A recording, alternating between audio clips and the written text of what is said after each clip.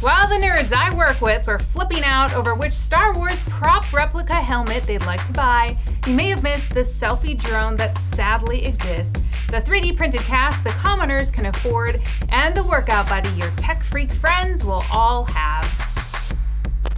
Welcome to In Case You Missed It, friends. Mama's home! Mama's home!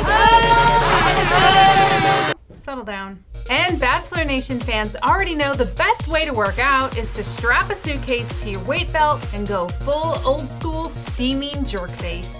Seriously, you guys should watch this season. The Stockholm Syndrome is real. I'm all horned up right now. You don't even know what's going on. I'm horned up, everybody. You didn't know you wanted biosensing earphones, but turns out you totally do, because you only need to use your voice to get every data point workout nerds require. The heart rate. 130 beats per minute, a little below your zone. Want to pick up your pace? Yeah. The AI earbuds act as a personal trainer for just running for now, syncing with your apps to know your fitness goals and keep you on target while you work out. It can also detect your heart rate so it knows if you're slacking. Or at least that's what the Kickstarter says it'll do. I'd personally like a little more attention to two parts of the interface. Hi, my name is Vi. Nice to meet you. I look forward to becoming your truly personal trainer. I'm a great listener.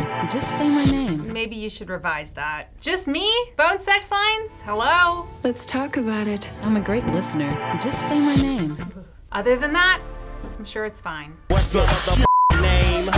The days of smelly, itchy, unwashable casts may soon be behind us. Mexican startup MediPrint made a 3D printed NovaCast that's customizable to each patient. After the bone has been set, doctors can perform a quick 3D scan of your busted appendage before printing this plastic cast. The entire process takes about three hours, which is cool because you know if you've broken something, they usually want the swelling to go down before you come back for your fitting of doom.